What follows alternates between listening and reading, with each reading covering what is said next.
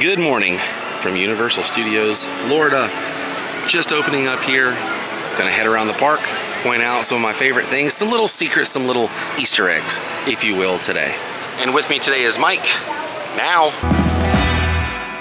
let's take a closer look. And this is kind of brand new for the park, this whole overlay they've, they've come up with. This was uh, the Lucy experience at one point, the Lucy tribute, and then it was the Betty Boop store. But there's a lot of little hidden things among these uh, these posters. This this Jurassic Park here and Trolls, Fast and the Furious, Bride of Frankenstein, Life Finds a Way, Jurassic Park, Us, some more Trolls, Trolls and Shrek, Minions, Jaws. On this side, I see Toothless, more Trolls, Minions, Felix the Cat, Out of Time, Back to the Future, Kung Fu Panda. That's crazy, man. So cool. They're they're giving tribute to these things. And also, look at this. You got Bruce the Shark here at the front, and Felix the Cat. Let's check it out. Look at these minions, dude. 100 bucks. Kid robot. The, the new clothes and stuff are really cool. Look at this, Back to the Future. Great Scott. Twin Pines Mall. Oh, Oh. that's cool. Are you telling me this sucker is nuclear? Oh, sucker's electrical. Oh, look at all the new uh, Jaws stuff, buddy. Amity Swim Club, Jaws hoodie, all kinds of stuff over here pertaining to. Oh, I need that in my life. Oh, yeah. Summer tie dye, Oh, yeah. baby. That's awesome. New shirts, bags. This is great. A lot of new, uh, a lot of new stuff in here. ET shirt, and then look around here up top. I see uh, more artwork. If you guys can point anything, oh, I see Chucky there. All right, continuing our journey, gonna take a right, head towards the lagoon and Delancey Street and Sting Alley. Got a lot of secrets over here. Now these apartments right here, the Barnes apartments, are a tribute to the uh, the Huxtables. Dr. Huxtable's uh, apartment right there, Bill Cosby.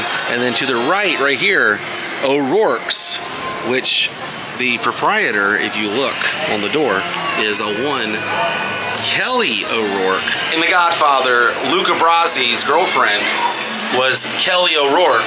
It's a tragic story with that, but they pay tribute to The Godfather around here. Also, they pay tribute to the movie The Sting a lot here. Now, this is Delancey Street. Delancey Street is used for a lot of filming, a lot of music videos in the past. A lot of uh, secrets down here. First one we'll show Adrian's Pet Shop here. A little tribute to Rocky. Lots of different films. You know, little nods and stuff here. Now, right up here, architect and land planner. If you're a real big fan of Universal and know important names, there's one right there for you. Look that guy up. Also, they filmed the opening to All That from Nickelodeon right here. They had kids jumping on uh, trampolines right here near Sting Alley. Now, this area is used in a lot of film and television as well. This is Sting Alley, and there's a lot of nods through here paying tribute to the movie The Sting. But this has been used in countless movies, TV shows, commercials, you name it. In fact, I did the filming locations for all that here at Universal Studios. I'll put a link to that right now so you guys can check out those filming locations. And right here, they used this in a movie called Matinee with John Goodman. Did those filming locations as well. And back on this side of New York, right up here, if you are a fan of the rock group Led Zeppelin, there's a window right up there paying tribute. John Bonham, J.P. Jones, Jay Page, Robert Plant. Right there. Random as can be. Now this Haagen-Dazs plays tribute to the Hudson Street Home for the Girls used in the film Annie. This would have been uh, Annie's home for the girls where she stayed. I always have to point this out. The Gotham Ice Company looks like something you would see in Batman, right? Like the sewers or something. But it's just a bathroom. But I wanted to throw it in here because I'm sure people will look and see Gotham Batman. Where's Batman? Is he in the bathroom? This is very interesting today. They don't have a queue set up out front of the attraction. It kind of looks like it did back in the day of Kongfrontation. Did you guys know that this is uh, based off the Paramount Theater in uh, New York City? It's where uh, a lot of films debuted, but one that always sticks out in my mind is Love Me Tender by Elvis Presley. They actually had a cutout of Elvis in New York right there and unveiled who the, uh, the superstar was for the film. If you're a Ghostbusters fan, you're in luck because did you know that back in the day, this was actually the entrance to the Ghostbusters Spooktacular show they had here at Universal Studios. You would walk in right through here, and it still is paying tribute to the Ghostbusters headquarters here, Engine 89. And on this side, above and beyond, paranormal travel agent. Who are you gonna call? Somebody else. Now they did use this Metropolis tribute in the Superboy TV show, but uh, now it's for a part of the queue for Race Through New York starring Jimmy Fallon. But on the windows, there's a few names that might stick out um, who were executives here at Universal Studios in some form or fashion. And to the left, all through here is a bunch of props and everything from Twister, which used to sit here, where Race Through New York starring Jimmy Fallon now sits. But if you look through here, there's the shirt that Bill Paxton was wearing, kind of like the same shirt he was wearing in the queue. And then if you look up here, all these uh, newspapers up here talk about different things in the uh, the park here. It's kind of cool like kind of looking around. World Expo debuts. That's over near uh, you know the Simpsons. Need Paranormal Investigation. Um, what do we have over here? Bull's Gym. Bull's Gym. Yeah. And I want to say like in these little uh, stamps somewhere it says Twister. At some point, one of these, I believe, said Wakita on it, which is uh, the town that Twister takes place in. It's true. Yep. They had All no right. warning. Let's uh, let's continue the journey. And directly underneath Hollywood Rip Ride Rocket are the sound stages, and there's an old entrance to the uh, original backlot here. You can go inside and get a close look at the sound stages and a tram tour back in the day. And it takes place right here in front of stage 22. You see the theatrical and television production facilities right there. Well, that fence used to not be there. You used to walk back there, and they had a tram tour that would take you all around Universal Studios. And one of the highlights was right here. This was the Boneyard, they would have all kinds of props and different things from movies out here. What a time. We're gonna skim through the new Minion Land right now. Papa Nana, I think is what you call it. Papa Nana?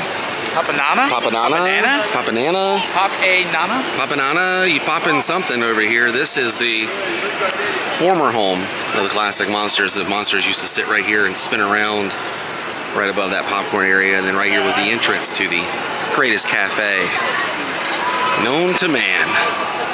Well, human. Human. Yeah. Look at these guys, anti-gravity got the minions and they're floating. I can't believe they let somebody come in here and, and tag this with graffiti. Graffiti. What's, What's- happening to this park? What is going on here? Monsters didn't do this kind of stuff. But these minions, well, that's all right. We just go to the Bank of Evil here, Mike. Sick vandalism. Sick vandalism. That's right. Hung up by their Buster Browns. Look at this guy. He, that guy is not messing around. Bank of Evil here. You can pick up your phone right here. The mobile pickup. Pick up your phone there. And there's some popsicles in here too. The Minion one, Gru, Vector. This brand new quality in theme parks. Genuine Minion quality. Okay, I can get behind that. And there are the minions over there meeting their fans. And there's the Gilman's great uncle, Frankie Fishlips. It is weird to stand under here, under the former home of both Alfred Hitchcock, The Art of Making Movies, and Shrek 4D, and look across the street and not see the Monster Cafe. This is blowing my mind. However, I love this. It's a great addition to Universal. I'm into it. They got characters over here, at Illumination Theater. It's really good. It was it's a lot of fun. Now pay attention to the uh, the two gift shops they have here, both super silly stuff and evil stuff. All right, continuing our journey. Gonna get out of Sting Alley area, but there's also more Godfather references over here with uh, Louis Pizza. What about Louis? That's right. Uh, well, from The Godfather, uh, this is where Michael Corleone whacks Sollozzo. This is when they, uh, he's, uh, Like he slaps him? He whacks him. Oh, And oh. That's an Italian term for, uh, you know, Uh-huh. he's, he's not with us. He's sleeping with the fishes He's- now. yeah. Um, so, yeah, and this is paying tribute to that. That's cool, man. Louis Pizza. But further down from Louis is our next stop, Mr. Lew Wasserman. Now, the interesting thing about this statue here of Lew Wasserman, the head of the statue is Lew Wasserman's face and likeness. However, the bottom half of this is one Abraham Lincoln. That's right, that is Abraham Lincoln's body right there and Lew Wasserman's head. Now, Lew Wasserman was the chairman of MCA Universal Studios and uh, had a lot to do with this park opening. Straight ahead, Ghirardelli, there was a scene in Problem Child 2 that was filmed right here. Junior and Trixie were running this way when they were uh, running away from home to go to the Love Rock. You can see a, uh, a closed down Universal Studios back in those days when they were doing the, the filming. Now, if you're a fan of Beetlejuice, the only thing left here from the Graveyard Revue is straight ahead, the little fountain here which definitely still has that Beetlejuice charm to it. You remember this fountain right here? Then you would go straight in to the stage and the graveyard revue would happen. Now we are currently in San Francisco. Now I've done a video pointing out all of these buildings and actually matching them up with what they are based off of. If you want to check that video out, do so now.